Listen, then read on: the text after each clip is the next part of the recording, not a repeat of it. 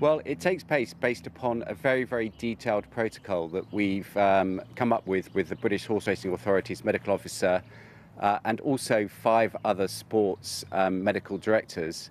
Um, and a 47 page document. Um, it starts from a special, uh, it, it starts from a special entry point uh, and, um, and in particular, we're particularly concerned where there's a congregation of people indoors, and we've built a whole new jockeys changing room to accommodate the needs.